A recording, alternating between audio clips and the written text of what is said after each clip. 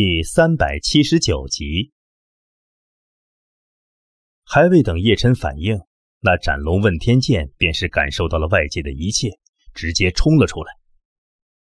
斩龙问天剑有着斩龙剑的剑灵，无数次生死之间，他和叶辰有着极强的默契。他直接冲出轮回墓地，剑光闪烁，刹那间便悬浮在叶辰的面前。斩龙剑。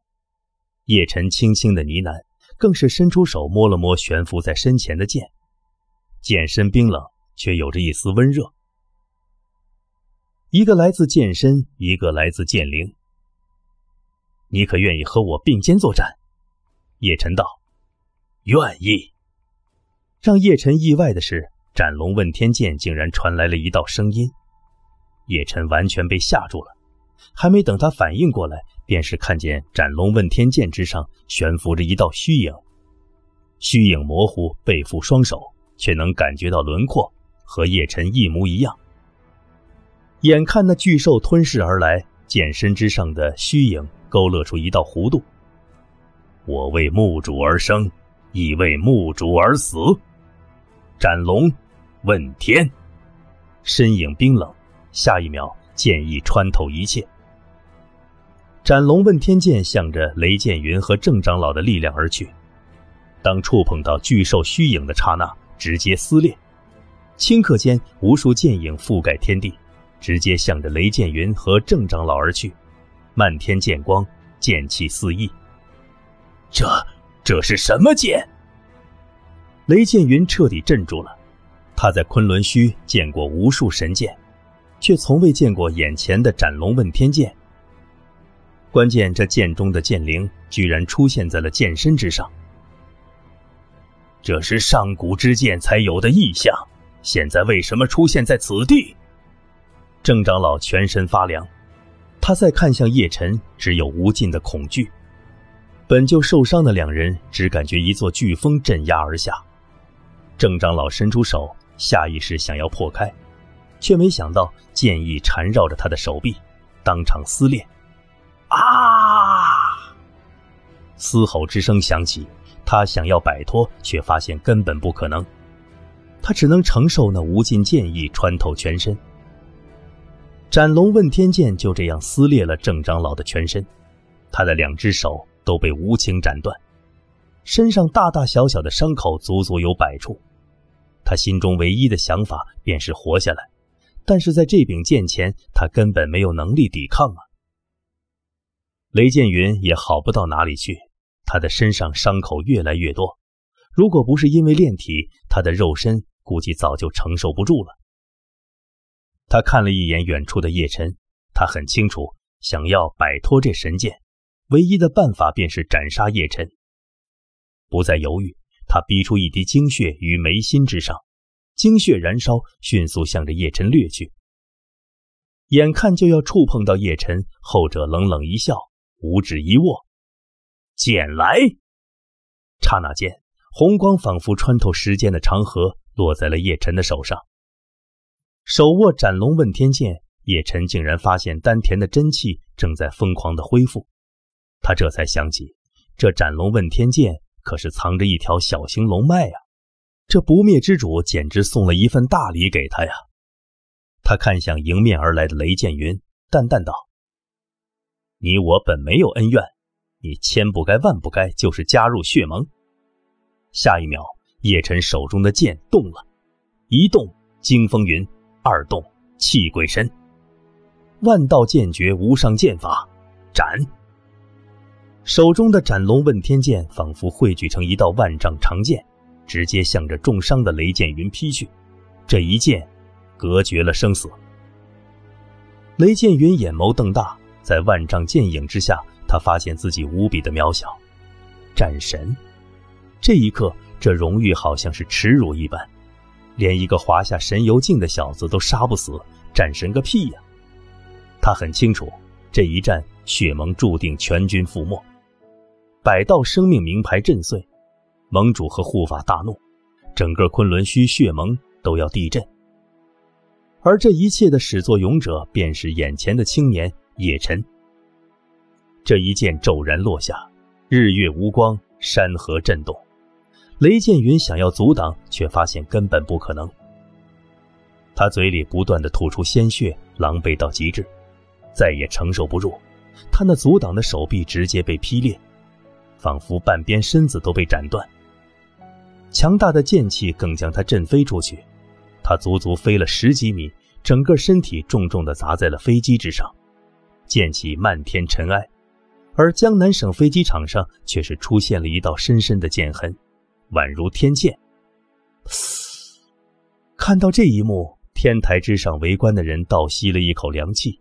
不光百人被叶辰斩杀，那气息极其恐怖的两人却是失去了战斗能力。叶辰以一人之力力挽狂澜。天哪！叶先生赢了！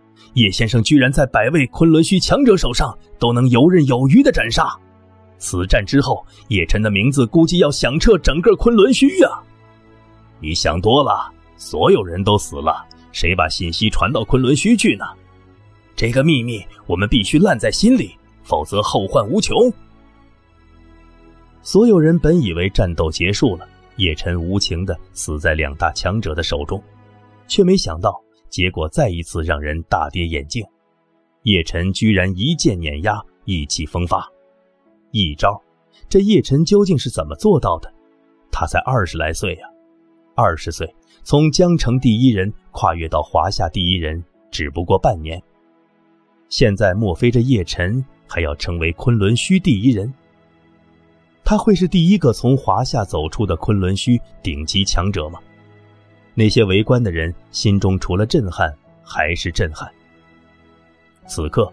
叶琛一步一步向着雷剑云和郑长老走去，两人只能躺在地上仰望叶琛。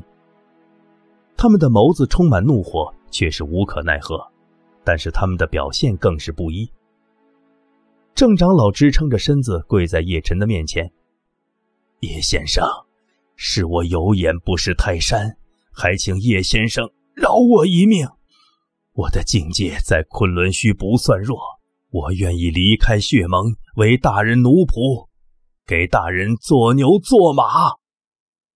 雷剑云恶狠狠地瞪了一眼郑长老，怒声道：“你在说什么？你为了活命，竟然出卖血盟！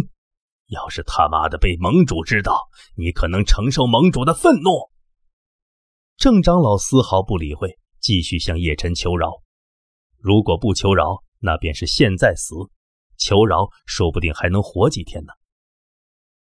叶辰剑锋落在了郑长老的身上，淡淡道：“我只想知道一件事，我的父亲叶天正可被你关在血盟地牢之中？”郑长老看了一眼斩龙问天剑，眸子缩到极致，连忙道：“叶先生，我知道，我知道，我向您发誓，我没有动他一根汗毛，他在血盟地牢之中好好的。”突然，他想到了什么，连忙寄出了一块血盟玉佩，上面刻着“天牢”二字。叶先生，这玉佩便是进入血盟和那地牢的钥匙。那地牢是上古困牢，除了两把血盟的钥匙，没有其他办法可以打开。还有一把钥匙在盟主那里，还有您的父亲体内有一道力量保护着他，雪盟不管动用什么手段都破不开这道力量。这也是我们调查中断的原因。叶辰五指一握，玉佩直接落在了手心。他能够感受到玉佩之中的神秘力量，必然和一道阵法有关系。对方应该没有骗他。既然拿到了钥匙，这郑长老便没有价值了。叶辰杀意释放开来：“叶先生，不要杀我！我的实力足以成为你的奴仆啊！”至少可以帮你解决很多事啊！您肯定要进入昆仑虚，甚至血盟，我刚好可以做一个引路人。感受到叶辰的杀机，郑长老连忙道，声音更是颤抖。叶辰冷笑一声，一剑落下，郑长老的头颅就这样落在了地上，双眸瞪大，狰狞无比。他根本想不到自己真的会死。血染大地，触目惊心。叶辰眼神只有冷漠，哪怕这些人有再大的价值，他也不会留。随后，叶晨的眸子又落在了雷剑云的身上，而斩龙问天剑却是触碰对方的脖子，无比冰冷。雷剑云上半身笔直，没有丝毫惧意，他死死地盯着叶晨，怒声道：“我不会求你，你要杀便杀。”叶晨嘴角勾了一道笑容，突然道：“刚才你是不是问我叶世天的消息？如果我没猜错，这一次你们大军压境，这应该主要是用来对付叶世天吧？”雷剑云听到叶世天的名字，眸子一缩，冷声道：“那又如何？那我就满足你吧。既然你想知道叶世天，我今日就让你见到叶世天。”下一秒，叶晨手指掐诀，手心散发着一道光亮，更是在面前一抹，瞬间叶世天的面容显露。桀骜不驯的雷剑云瞳孔瞪大，心中掀起了万道骇浪，无数的疑惑在这一刻解开。血龙，强大的战力，逆天剑技。他伸出手指着叶晨道：“你是叶世天？怎么可能？我……”我早就该想到的呀。叶晨嘴角勾了一道笑容，既然你知道了，那我便可以安心的送你上路了。剑起，剑落，鲜血喷洒，一枚头颅就这样落地了。血战殿战神雷剑云就此陨落，血战殿百人就此葬身华夏，而斩杀一切的却是一个青年。天台之上，所有人的震撼已经无以复加。他们心中虽然激动，但是更多的却是恐惧。如果叶晨对他们出手，他们怕是连一指都无法抵挡吧。那位老人也是收回目光，看向在场的所有人。今日之事列为华夏顶级机密，你们有两个选择：第一，被华夏彻底控制；第二。我会派人抹除你们的记忆。老人很清楚，此事太惊世骇俗，一旦传出去，后果无法估量。他必须扼杀一切消息散落出去的源头，只为保护叶辰。